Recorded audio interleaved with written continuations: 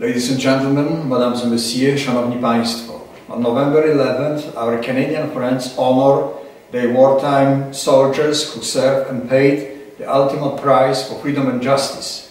For Poles, this date has significance as well.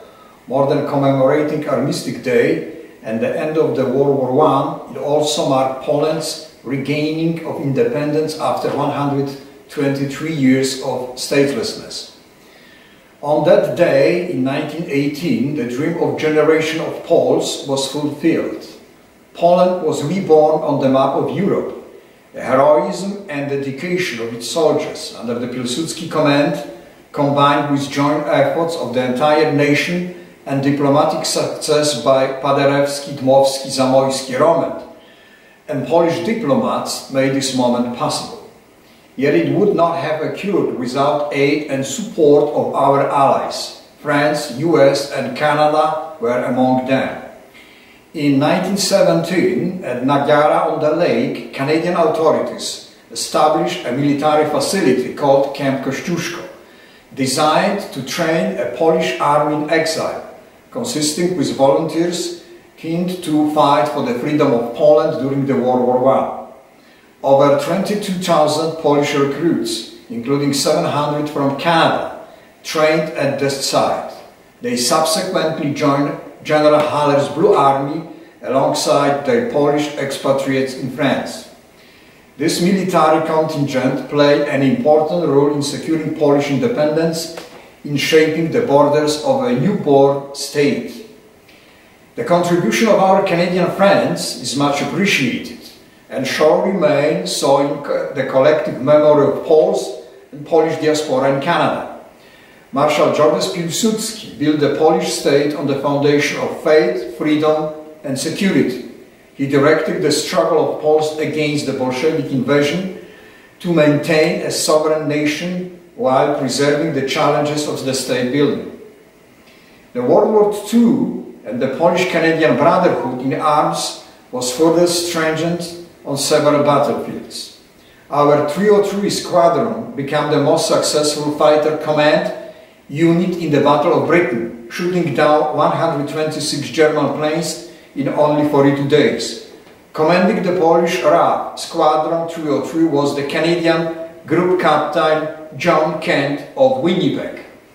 After invasion in Normandy, the 1st Polish Armored Division under the General Maczek command was a component of Lieutenant General Guy G. Simonds, 2nd Canadian Army Corps of the Canadian First Army under Lieutenant General Henry D.J. Crerar. For General Maczek and the men of the 1st Polish Armored Division, the battles of Chambois and the Hill 26-2 represented the greatest victory in the West and a long overdue revenge against the Germans. After the battle, Lieutenant General Crerar, Commander-in-Chief of the 1st Canadian Army, sent the following telegram to the General Maczek. 1st Canadian Army is very proud because of the fact that the Polish Armored Division is a part of us. And in the future we call continue to fight as at the present time the mutual celebration of final victory should not be much delayed. Soldiers of both countries collectively helped liberate the Netherlands and Belgium. Our troops shed the blood at the Battle of Monte Cassino.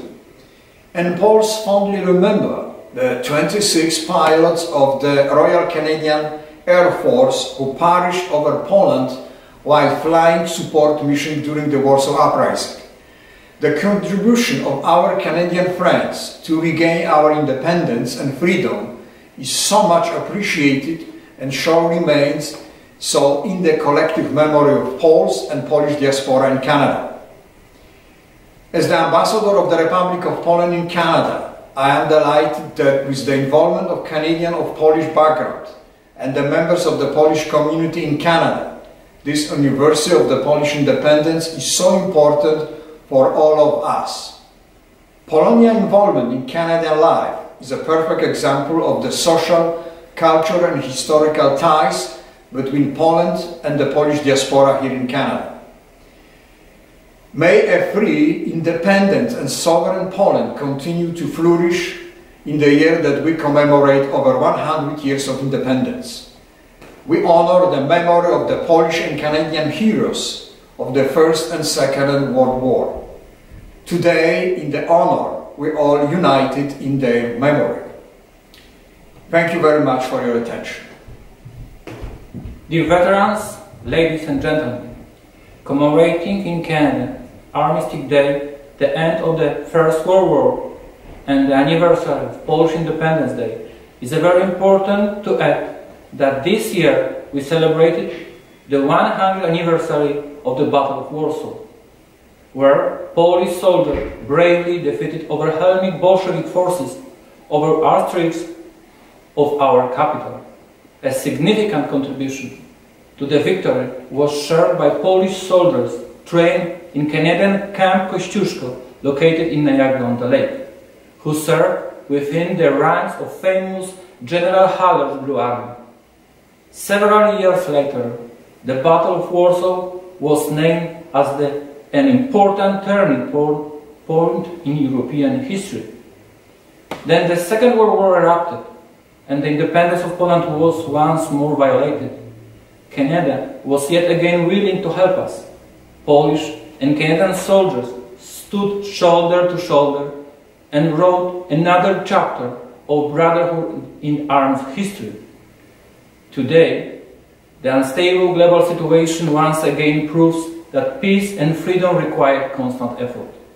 Transatlantic relations continue to be of the vital importance of the security of our country.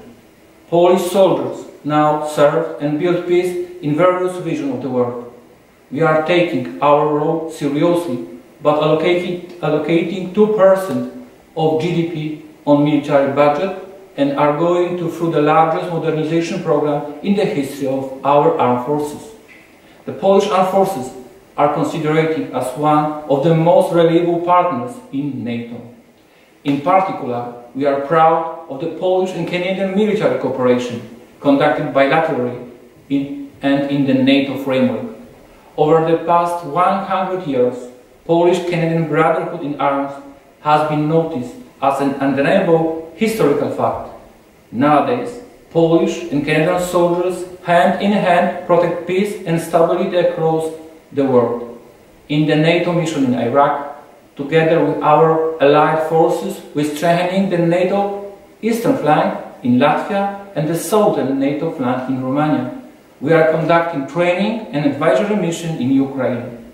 For more than four years, we have hosted in Poland Canadian MEPL detachment. I strongly believe that our close military cooperation would remain forever.